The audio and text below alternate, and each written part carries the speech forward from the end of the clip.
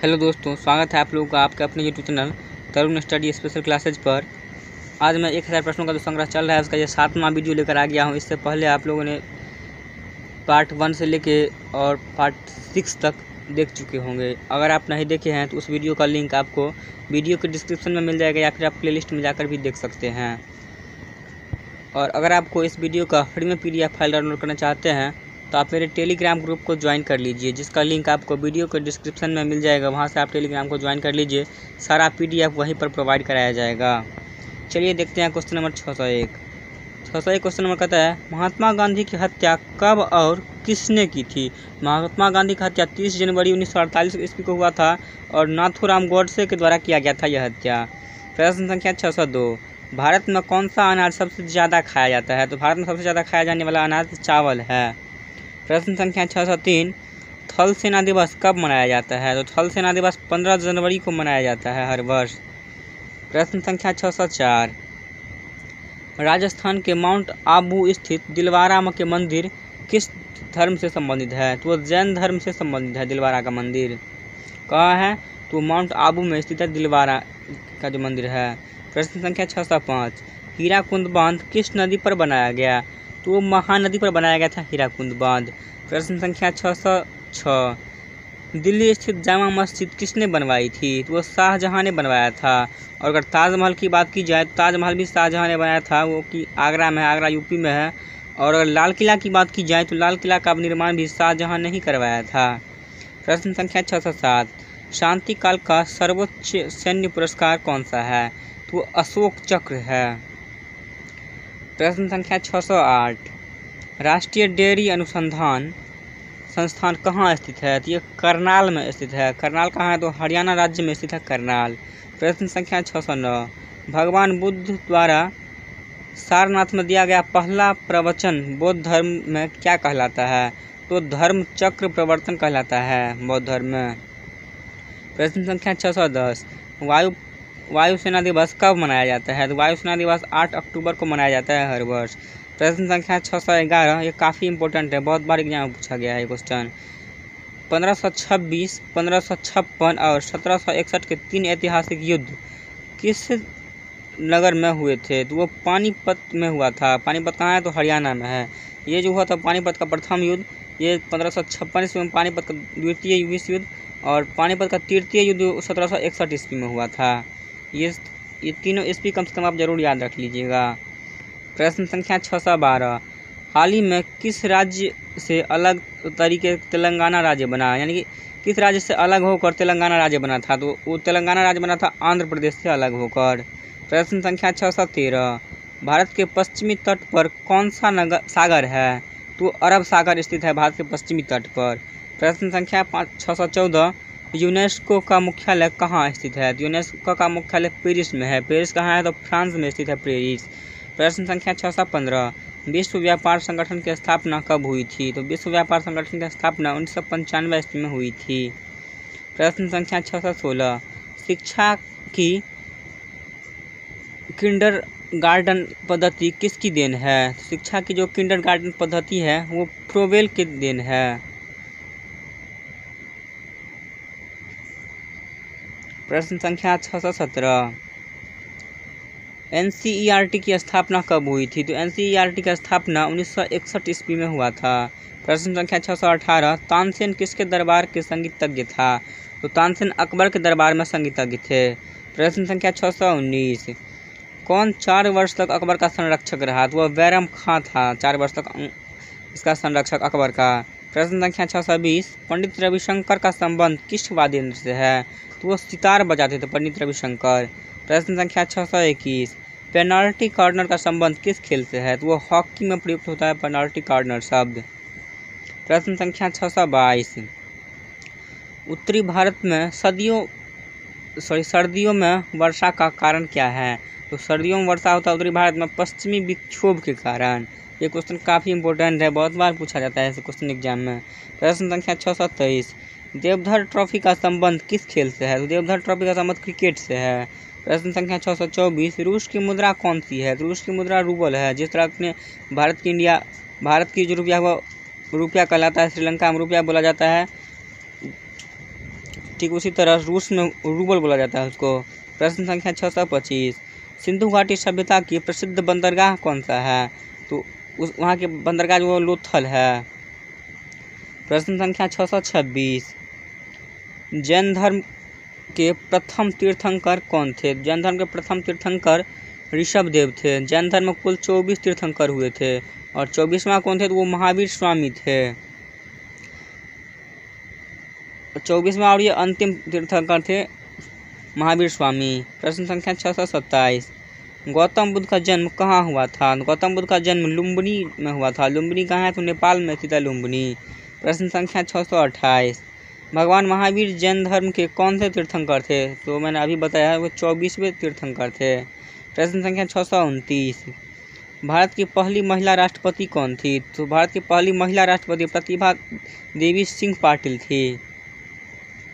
प्रश्न संख्या छः सौ तीस। कटक किस नदी पर बसा है? तो कटक महानदी पर बसा है। प्रश्न संख्या छः सौ इकतीस।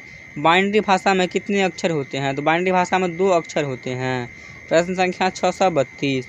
लेन एल ए एन का विस्तार क्या होगा? यानी कि का फुल फॉर्म क्या होता है? तो लेन का full form local area network होता है। प्रश्न संख्या छः सौ तैंतीस।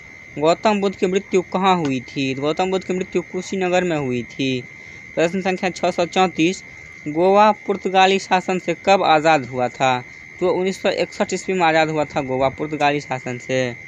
प्रश्न संख्या छः सौ पैंतीस। बक्सर का युद्ध कब और किस कब हुआ? और जिसके परिणाम स्वरूप अंग्रेज़ों का बंगाल, बिहार और उड़ीसा पर अधिकार हो गया था तो सत्रह सौ चौंसठ ईस्वी में हुआ था बक्सर का युद्ध।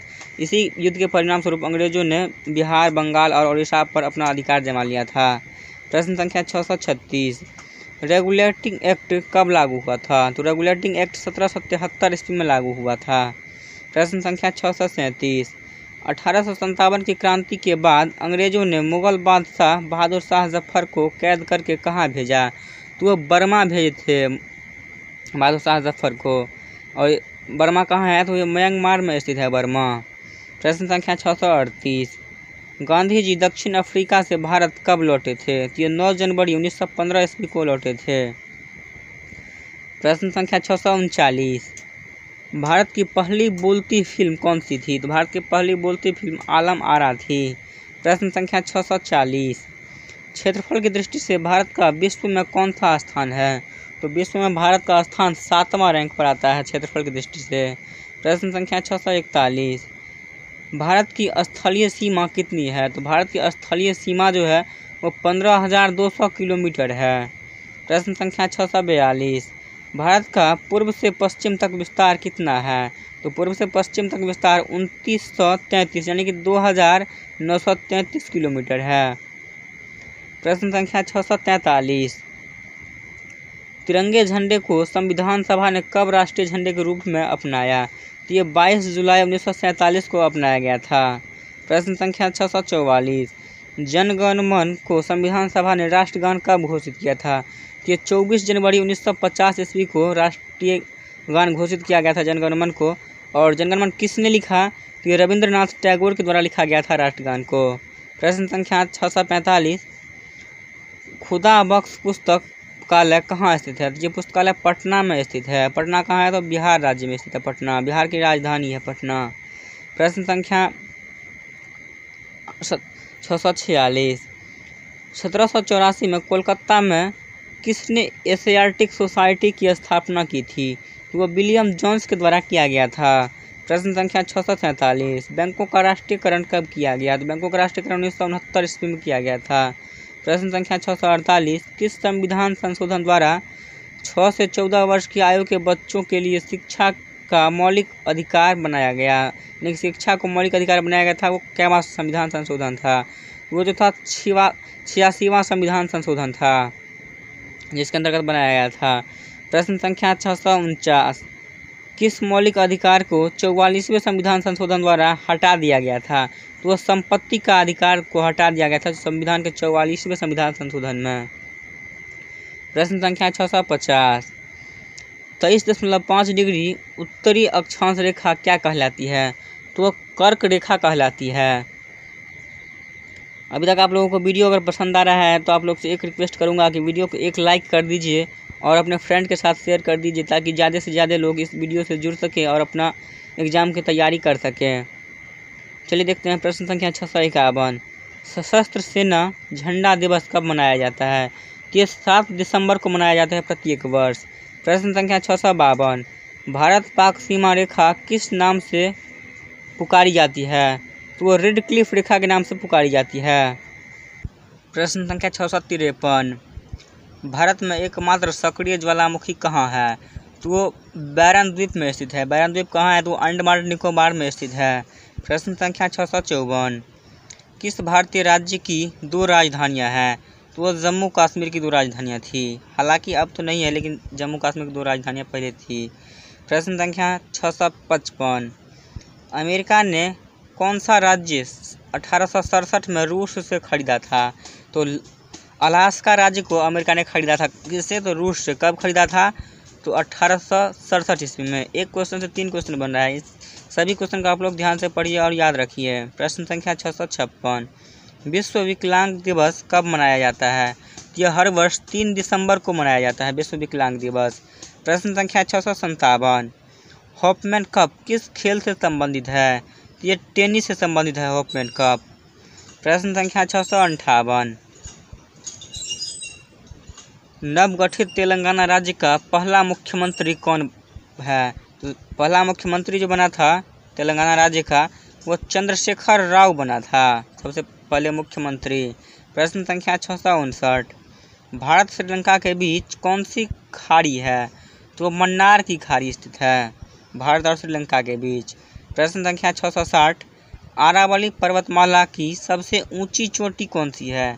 तो गुरु शिखर चोटी है, जिसकी सबसे ऊँची है अरावली पर्वतमाला की।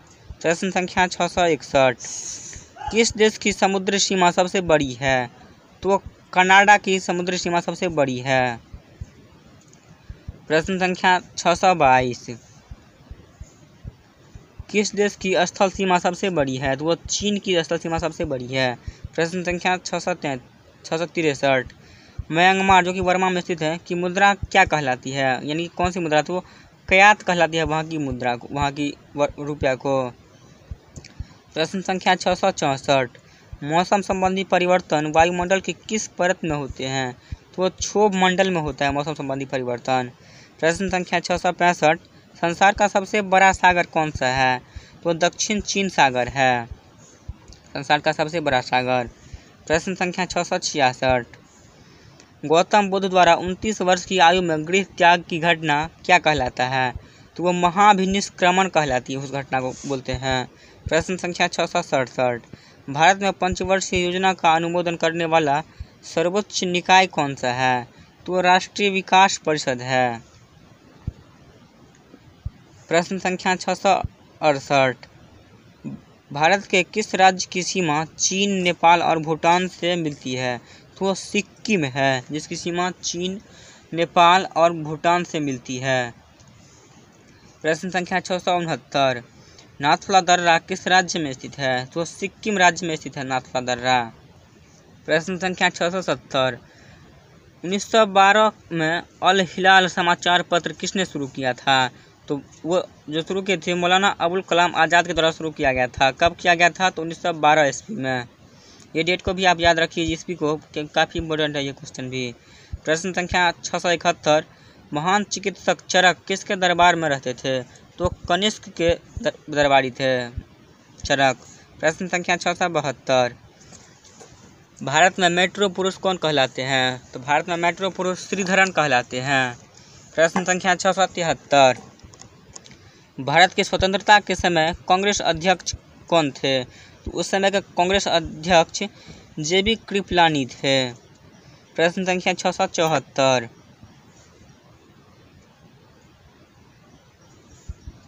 कांग्रेस और मुस्लिम लीग के बीच लखनऊ समझौता किस वर्ष हुआ था? ये 1916 ईस्वी में हुआ था। प्रश्न संख्या छः सौ पचहत्तर। पानीपत का तीसरा युद्ध किनके बीच हुआ था? ये मराठों और अहमद शाह अब्दाली के बीच लड़ा गया था। कब लड़ा गया था? तो सत्रह सौ इकसठ ईस्वी में लड़ा गया था, जो कि मैंने पिछले क्वेश्चन शायद बताया इसी वीडियो में। प्रश्न संख्या छः सौ छिहत्तर। आरबीआई के नए नियमों के अनुसार चेक और बैंक ड्राफ्ट की वैधता कितने समय तक होती है? तो तीन महीना का होता है। प्रश्न संख्या छः सौ सतहत्तर। सबसे लंबा राष्ट्रीय राजमार्ग कौन सा है? तो एन एच सेवन है, जो कहाँ से कहाँ तक जाती है? तो ये वाराणसी से कन्याकुमारी तक की का मार्ग है। प्रश्न संख्या छः सौ अठहत्तर। संगमरमर किसका परिवर्तित रूप है? तो चूना पत्थर का परिवर्तित रूप है संगमरमर प्रश्न संख्या छः सौ उनासी। विश्व व्यापार संगठन का मुख्यालय कहाँ स्थित है? तो जिनेवा में स्थित है। जिनेवा कहाँ है? तो स्विट्जरलैंड में है। प्रश्न संख्या छः सौ अस्सी। चौरी चौरा कांड के बाद महात्मा गांधी ने कौन सा आंदोलन स्थगित कर दिया था? तो असहयोग आंदोलन को महात्मा गांधी ने स्थगित कर दिया था चौरी चौरा घटना के बाद। प्रश्न संख्या छः सौ इक्यासी। केरल के तट को क्या कहते हैं? तो केरल के तट को क्या कहते हैं? तो वो मालाबार तट का बोला जाता है उसको।